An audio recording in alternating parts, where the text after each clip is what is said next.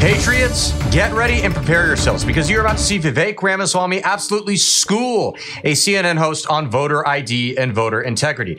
Guys, it's just insane. These arguments left makes about being against voter ID and all the other stuff regarding the whole election integrity matters. It is crazy. They I don't even know how they get these ideas from. Voter ID is racist. It's oppressive. Are you kidding me? So we're gonna get right into it, guys. It's gonna be a lot of fun. You're gonna like it. But first, everybody, do me a big favor here. Like our video, share it around, and if you are new, yes, subscribe to the Resist Mainstream YouTube channel so we keep bringing you guys this great, hard-hitting content. As always, everybody, I'm your host, Darian. Let's get into the show. I included yours. You were there. You you said this. Uh, this was part of your message last night, and I want to discuss it with you.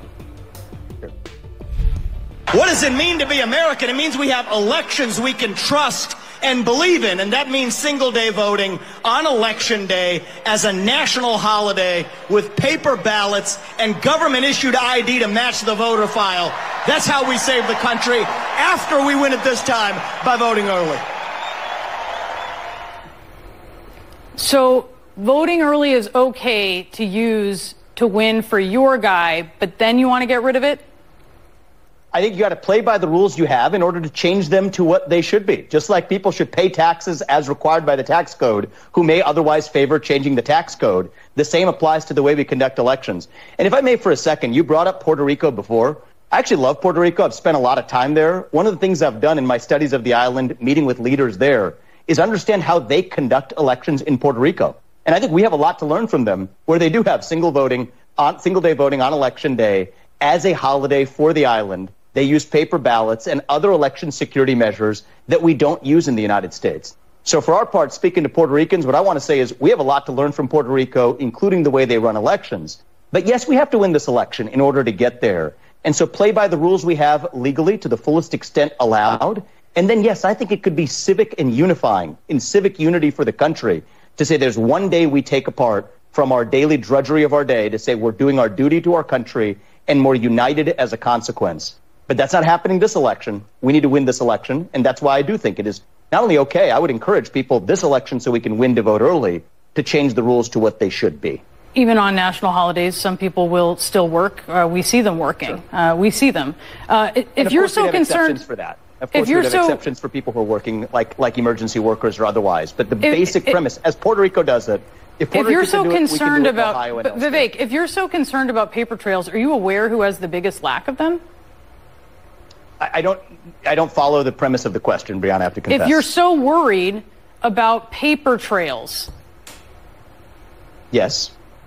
Like, are you? Is this just? Is this like an issue that you're talking about, or are you aware so that Look, it's a few counties I, I in believe, Texas and it's all of Louisiana? I mean, are you are you talking to those folks? Have you talked to the leadership so, in those localities, those states where there is no paper trail at all? let alone paper ballots, and said, "Hey guys, may- maybe fix so this." So look, here's something you. So I think this lady has a comprehension issue because there's a very obvious answer to this disingenuous, stupid gotcha question that she's attempting here. Vivek clearly said that nationwide we need paper ballots and one day voting. So that includes every state, every city, every county. Doesn't matter if they're blue, doesn't matter if they're red, doesn't matter if they're purple or green or yellow or whatever color you want to assign to it politically. They are going to have to use paper ballots. So that's the only answer that's needed right here. You and I can, I think, agree on. I think you and I would agree on this the crisis of public trust in our elections is a real problem. And if we can shore up that trust in a way that says we're done, nobody wants to be complaining. Certainly, I don't want to be complaining, or anyone on my side to be complaining about stolen elections or election integrity. The easiest way to move it forward is to do it the way that Puerto Rico does it today. And I think that many countries do it this way. We've done it this way in the past with respect to paper ballots in our country. I don't think government issued ID should be controversial. But you but know, most people have people, paper if ballots. I may finish, if I may finish, Brianna, the fact that many people find government issued ID requirements to be controversial is actually what breeds that mistrust about election integrity in the uh, first place. Okay, I, I do just want to be IDs clear. Are themselves controversial. Most people have. Most people. There, there is a paper ballot and there is a paper trail that the process by which they're doing it generates a paper ballot, a paper trail to show how they have voted. So this idea that like a bunch of people are, are voting and it just kind of goes off into the ether, that doesn't happen. We're talking about Brianna, the, the, the vast majority. say that. I, I didn't, didn't interrupt you, that. sir. Uh, the vast majority of people. So it, it's sort of, I'm just curious because it seems like also to the point of the ID, this idea of like non-citizen voting, it's already illegal for non-citizens to vote in federal elections with threat of prosecution and deportation as a deterrent, which may be why it just doesn't happen in any meaningful number, including in your home state. Uh, I just wonder in, in both of these cases, are you promoting a solution to yeah. solve problems that don't exist? I'm promoting a solution to address a problem that does exist, which is the loss of public confidence in elections against the backdrop of voter fraud that is real. Well, Nobody's why do you think the there's existence. a loss in confidence? Nobody. Eh, whoa, whoa, whoa. You, you just said you weren't interrupting me, and then you're interrupting me, Brianna. Well, if now I may I finish am. answering yeah, the question. Because we're running out of time. Question, if I, why do you think the there's a loss in confidence? I think that I think there's a loss in confidence because there are unknown numbers of illegal migrants in this country. And I think there's a big loss of confidence because people object to the idea of using voter IDs, the same IDs you're required to drive a car. Why is it an objectionable to use that to actually be a requirement to vote? The fact that people call that racist to shut down debate, yes, I do think that breeds public mistrust. I do. So I'm I going to interrupt not, you be because be best, best my practices. I don't want complaints about election integrity. I don't want us fighting over stolen elections. cross-referencing votes. What was that famous quote that Donald Trump, our favorite orange president, once said? Such a nasty woman. I'm bringing that up for no reason, by the way. It has nothing to do with this video. I, I promise it doesn't relate. Okay? Okay? D- don't go after me. No. but in all seriousness, this lady is such a liar. And something I wish Vivek called her out on. She sits here and says, This idea that non citizens are voting, it's just fake. It doesn't matter. It's not true. It's actually completely wrong. There are court documents to prove this, all right? In the 2020 election, there were thousands, yes, thousands of non citizens who both registered and voted in the state of Nevada. That state was won in the margin of thousands, okay? Maybe like a little over 10,000, something like that. Don't quote me on that, but the point is we had thousands of non citizens vote in an election that was decided by thousands of votes different. And she's going to sit here and have the gall to say, well, you know, this is all made up. You're a bunch of crazies. All while people like her oppose having requiring a government ID to vote. And yeah, they totally have no sinister motives at hand when they don't even want a voter ID to prove you're a citizen to vote. And then you have non citizens voting in elections.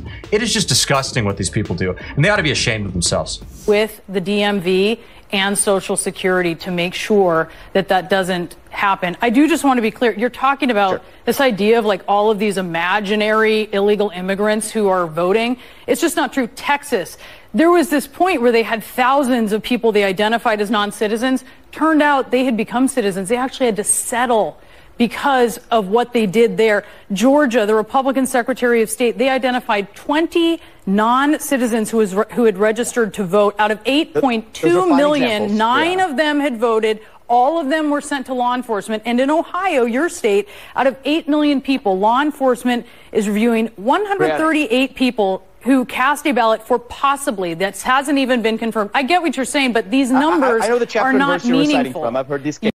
How about Nevada? You notice how she conveniently doesn't mention Nevada? Such a disingenuous hack. You spend a lot we, we, of time talking me, about a problem that is so minuscule, I, I, it doesn't affect actually, outcomes.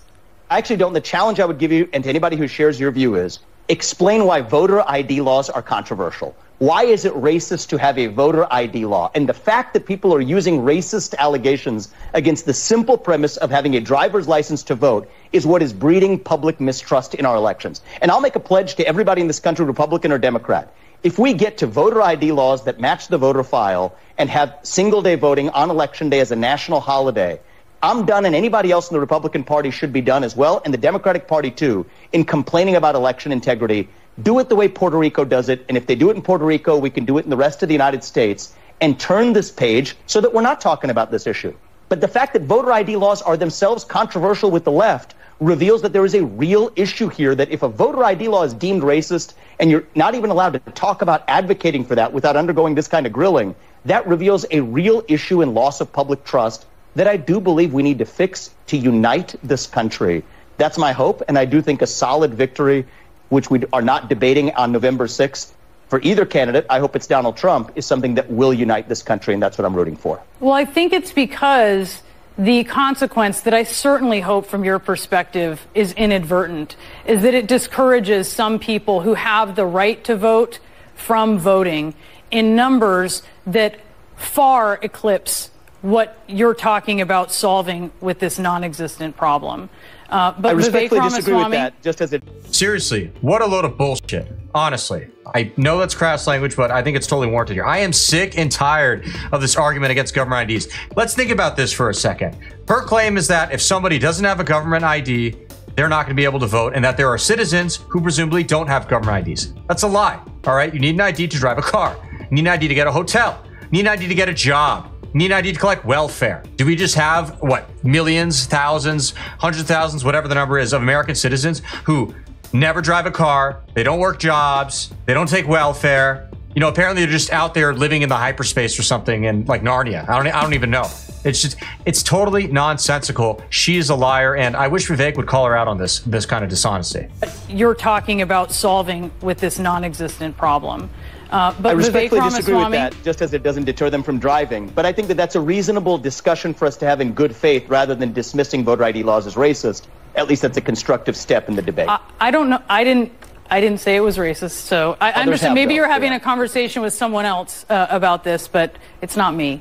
Um, in Vivek, Georgia, countless leftists have, yeah. Vivek Ramaswamy, thank you for being with us. I'll raise you one, Vivek. I actually disrespectfully disagree with what she's saying. I don't think she's being honest. I think her motives are very sinister, and it's actually not a reasonable discussion. But what do you guys think? What do you guys think? Are they do they actually believe this? Is it a heartfelt belief, or are they just being dishonest? I want to hear your thoughts. Let us know in the comments. Let us know what you thought about the video overall. What kind of stuff you want to see in the future, and we'll see you guys again soon. Thank you, and God bless.